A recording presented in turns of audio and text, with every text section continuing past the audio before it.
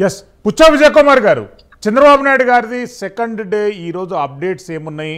భువనేశ్వరి గారు బ్రాహ్మణి గారు లోకేష్ బాబు గారు అప ములాఖత్కు ట్రై చేశారనేటువంటి వార్త వచ్చింది.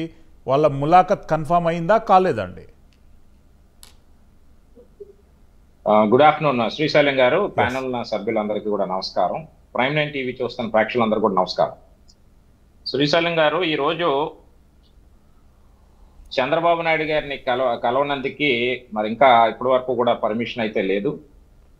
ఎందుకంటే జగన్మోహన్ రెడ్డి ఏ విధమైనటువంటి కక్ష సాధింపు చేస్తా ఉన్నాడు అనేది ఇది రాష్ట్ర ప్రజలే కాదు తెలుగు రాష్ట్రాలన్నీ కూడా చూస్తూ ఉన్నటువంటి పరిస్థితి. ఈ రోజు ఇందాక వైసీపీ నాయకులు చాలా మాట్లాడేశారు చాలా చాలా చెప్పేశారు. ఈరోజు ఒక్కటి గుర్తుపెట్టుకోవాలి మనం. చంద్రబాబు నాయుడిని ఏ విధంగా టార్గెట్ చేయాలి? నేను పదహారు నెలలు జైల్లో ఉన్నటువంటి వ్యక్తిని. నాకు ఒక ఖైదీ నెంబర్ ఉంది. కాబట్టి చంద్రబాబు నాయుడు గారిని కూడా ఒక్కరోజన్నా పెట్టి అదే ఖైదీ నెంబర్ పెట్టాలన్నటువంటి ఒక దుర్మార్గమైనటువంటి ఆలోచన క్లియర్ కట్గా ఇక్కడ తెలిసిపోయింది రాష్ట్ర ప్రజలందరికీ కూడా. అంటే వాళ్ళు మాట్లాడుతూ ఉన్నారు స్కిల్ డెవలప్మెంట్ స్కిల్ డెవలప్మెంట్ అని. ఈ రోజు తెలుగుదేశం పార్టీ హయాంలో స్కిల్ డెవలప్మెంట్ సంబంధించి ఆ రోజు సుమారు రెండు లక్షల పదమూడు వేల మందికి ట్రైనింగ్ ఇచ్చినటువంటి పరిస్థితి సుమారు డెబ్బై రెండు వేల మంది ఉద్యోగ కల్పన కల్పించినటువంటి పరిస్థితి స్కిల్ డెవలప్మెంట్ సంబంధించి. ఇందులో కీలకమైనటువంటి వ్యక్తులు ఈరోజు జగన్మోహన్ రెడ్డి దగ్గరే ఉన్నారు. అజయ్ కల్లం రెడ్డి ప్రేమ్ చందార్ రెడ్డి. వీళ్ళిద్దరిని కూడా అరెస్ట్ అరెస్ట్ చేయాలి కదండి ఎందుకు అరెస్ట్ చేయలేదు? ఏ థర్టీ సెవెన్ థర్టీ సెవెన్గా ఉన్నటువంటి చంద్రబాబు నాయుడు గారి దగ్గరికి వెళ్ళారు. ఇందులో ఉన్నటువంటి వన్ టు థర్టీ సిక్స్ వరకు ఉన్నటువంటి థర్టీ సిక్స్ అరెస్ట్ చేయలేదు థర్టీ టూ అరెస్ట్ చేయలేదు టెన్ అరెస్ట్ చేయలేదు వీళ్ళందరినీ ఎందుకు అరెస్ట్ చేయలేదు వీళ్ళందరినీ ఎందుకు ఎందుకు ఇంట్రాగేట్ చేయలేదు సిఐడి వాళ్ళు? ఎక్కడ కేసు పెట్టారు వీళ్ళు? చంద్రబాబు నాయుడు గారి ఆరోపణ పెట్టి ఇరవై రెండు నెలలు క్రిందట పెట్టినటువంటి కేసుని మళ్ళీ ఇప్పుడు రీఓపెన్ చేసి ఇప్పుడు మళ్ళా దాని మీద దర్యాప్తు అని చెప్పి వీరు చంద్రబాబు నాయుడు గారు నంద్యాల పాణ్యం నియోజకవర్గంలో ఆయన రోడ్ షోలో ఉంటే అక్కడికి తెల్లవారుజామునే వెళ్ళి వీళ్ళు ఏ విధంగా అరెస్ట్ చేస్తారు? ఒకసారి వీళ్ళు చెప్పాల్సినటువంటి అవసరం ఉంది. ఎందుకంటే కేసు పెట్టింది విజయవాడ. విజయవాడలో కేసు పెడితే విజయవాడ రాడా ఆయన నంద్యాలకు వెళ్ళిపోయి అంత ఆగమేఘాల మీద వెళ్ళిపోవాల్సినటువంటి పరిస్థితి ఏంటి? కనీసం ఇంటి సభ్యుల కన్నా ఇన్ఫర్మేషన్ అనేది ఇచ్చారా ఈ సిఐడి వాళ్ళు? ఇవ్వకుండా ఆయన అరెస్ట్ చేసి రిమాండ్కి తరలించేటప్పుడు కూడా కనీసం ఇంటి వ్యక్తులకి ఎవరికి కూడా ఇంటిమేషన్ ఇవ్వలేనటువంటి పరిస్థితి. అంటే ఈ రోజు ఇది కుట్ర కోణం అనేది క్లియర్గా అర్థమవుతుంది. ఇంకొకటి విషయం చెప్తాను శ్రీశైలం గారు. మన ఏ టూ గారు ఉన్నారు. విజయ్ విజయసాయి రెడ్డి గారు సూట్ కేసులు మోసినటువంటి వ్యక్తి.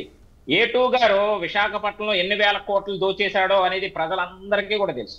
అంటే వీళ్ళు దొంగతనాలు చేసేది వీళ్ళు భూములు దోపిడీ చేసేసేది వీళ్ళు. చంద్రబాబు నాయుడు గారిని ఏ విధ ఏదో విధంగా మా పేరులో కూడా మేము దొంగలుగా పరిగణించబడ్డాం కాబట్టి రాష్ట్ర ప్రజలు మమ్మల్ని దొంగలుగా చూస్తా ఉన్నారు కాబట్టి చంద్రబాబు నాయుడు కూడా చేయాలి.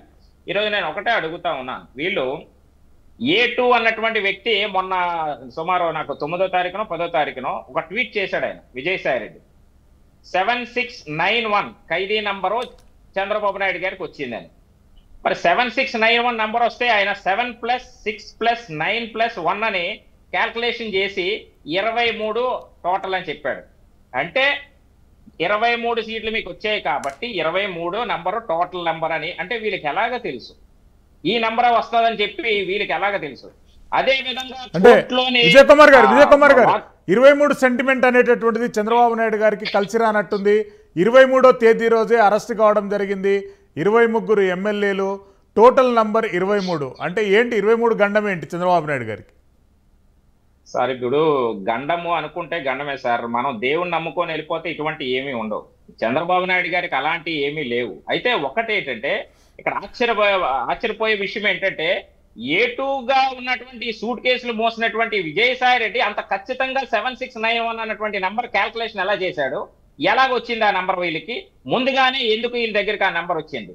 రెండోది కోర్టులో వాదోపవాదనలు జరుగుతున్నప్పుడు ఆల్రెడీ వీళ్ళందరూ ఇన్స్ట్రక్షన్స్ ఇచ్చేసి విజయవాడ నుంచి రాజమండ్రి జైలు వరకు కూడా క్లియరెన్స్ ఇచ్చేయమని చెప్పి ఆర్డర్స్ ఇచ్చారు సిపిలందరికీ అంటే ఎందుకు వీళ్ళు ఇంకా కోర్టులో ఆరు గంటలకి అక్కడ కోర్టు తీర్పు వచ్చింది? కానీ అంతకు ముందే వీళ్ళంతా ఈ ప్లాన్ ఆఫ్ యాక్షన్ ఎలా పెట్టుకున్నారు?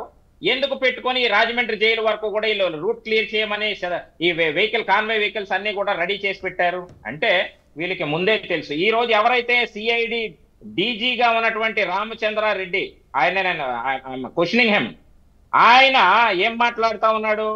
చంద్రబాబు నాయుడు గారు ఇందులోని ఆ, అవకతవకలు ఉన్నాయి. ఆయన తినేశాడు. ఫోర్ నాట్ నైన్ సెక్షన్ అనేది కూడా పెట్టడం జరిగింది. అంటే ఇక్కడ ఒకటి నేను అడుగుతా ఉన్నాను సార్ ఈరోజు. చంద్రబాబు నాయుడు గారు తినేసినట్లుగా వీళ్ళ దగ్గర ఏమైనా ఆధారాలు ఉన్నాయా? కనీసం ఆయన బ్యాంక్ అకౌంట్ చెక్ చేశారా? ఇగో బ్యాంక్ అకౌంట్ తీసి స్టేట్మెంట్ తీసిగో నీ దాంట్లో అయితే డబ్బులు పడ్డాయి. షెల్ కంపెనీలో నీ పేరు వచ్చింది. మీ మిమ్మల్ని అరెస్ట్ చేస్తున్నాం అని చెప్పేసి ఏమన్నా ఆధారాలు ఉన్నాయి? ఈ రోజు నేను చెప్తా ఉన్నాను. ఈ రోజు టీడీపీ ప్రభుత్వ హయాంలో రాష్ట్రంలో యువత నైపుణ్యం శిక్షణ కొరకు మూడు వేల మూడు వందల కోట్లు సిమ్స్ సంస్థ మరియు డిజైన్ టెక్ సంస్థ ఒప్పందం చేసుకొని ఇందులో ప్రభుత్వం వాటా పది శాతం.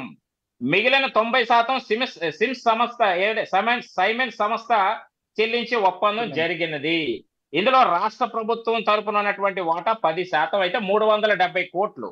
అయితే మూడు వందల డెబ్బై కోట్లు అయితే వీళ్ళు టీడీపీ ప్రభుత్వం చెల్లించింది. వీటిలో మూడు వందల డెబ్బై కోట్లలో రెండు వందల నలభై కోట్ల రూపాయలు సైమెన్స్ సంస్థకి పేరుతో కాకుండా డిజైన్ టెక్ సంస్థకి ఒప్పందాలు ఏపీసీఐడి కేసు నమోదు చేసింది. వీళ్ళకి కనీసం ఆ ఫిగర్ ఎంతో కూడా కరెక్ట్గా క్లారిటీ తెలియని